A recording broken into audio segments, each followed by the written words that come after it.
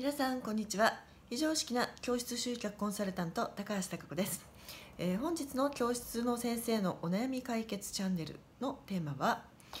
無理なく続けていくためのレッスン料金の適正価格の作り方を知りたいというお話をしたいと思います。えーっとですねレッスン価格の適正価格っていうのは結構難しいテーマでですねあのここすごく悩む方は多いと思うんですよ。それでまあいろんな要因で値段をつけていくんですけれどもうん一番皆さんがおそらくやる分かりやすい値段の付け方っていうのは地域の、まあ、近所の競合他社っていうかまあ同じような同業系の先生のレッスン価格とかを見て、まあ、そちらの方で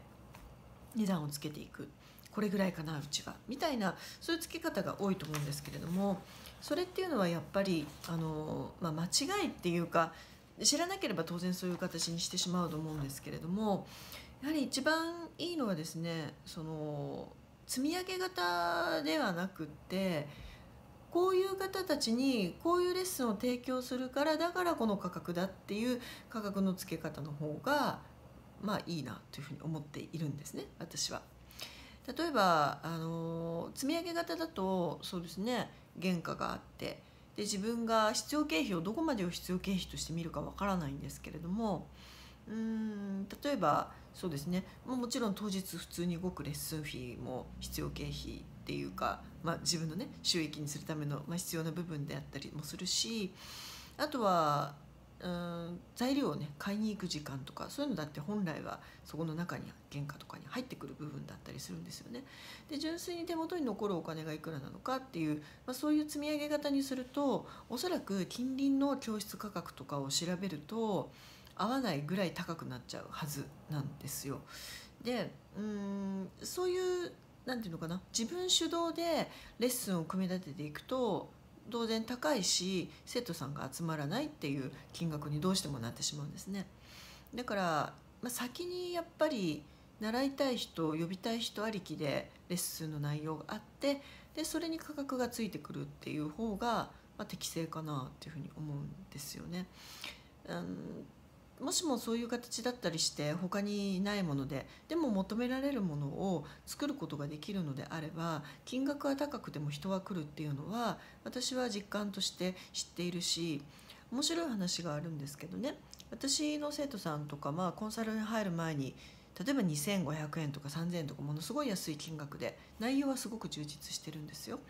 ものすごい安い金額で値段つけていてそれで実際に回って回していたというかもうそれでキリキリの限界状態になってで私の方にコンサルをっていうことでいらした方とか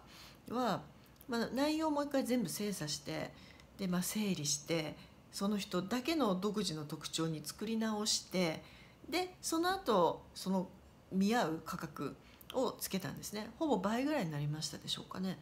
そうすると本人はすごいあの怖くなっちゃうわけですよ。今までだってそれの半額ぐらいでやってたわけだし当然生徒さんがいる場合っていうのは離れていくっていう恐怖感があると思うんですけれどもね。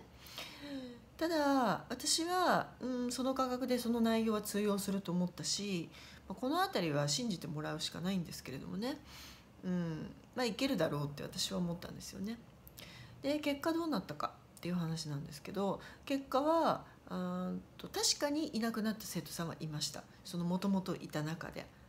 あの3分の1ぐらいかな。いなくなったその代わりそれを求める新しい方たちとかもきちんと入ってきたりとかしているので結果としては自分の体は楽になって要は人数少なくても大丈夫になるわけですから体が楽になってかつ収益はトントンよりちょい上ぐらいになってっていうあのじ自由な時間を作りやすくなったっていうのがやっぱ大きなポイントだったんですね。ただ当然その慣れ親しんだ値段値段に反応する生徒さんは辞めてったっていうとこは見送る身としては結構痛かったと思うんです心が。だけれども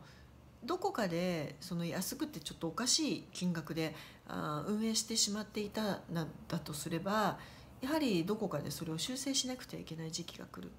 だから、まあ、そこは決断と覚悟と決意で前に進むしかないんですけれどもね。そこまで大きな話になっていない場合にはあのそんなにこう激しく、えー人が辞めるとかそういうことはおそらくないと思うのでその辺りをあどういうバランスで取っていくかっていうのはご自身が最終的に決めることになるんですけれども、えー、そのそうですね適正価格っていうのはあその生徒さんの方を向いた形でレッスンの価格を決めていくっていうこちらの方があの正しいやり方かなと思うので原価積み上げ型とか近隣教室との比較でやっていくっていうのはあまりお勧めしないかなというふうに思いますのでそちらの方は是非ご参考になさってみてください。それでは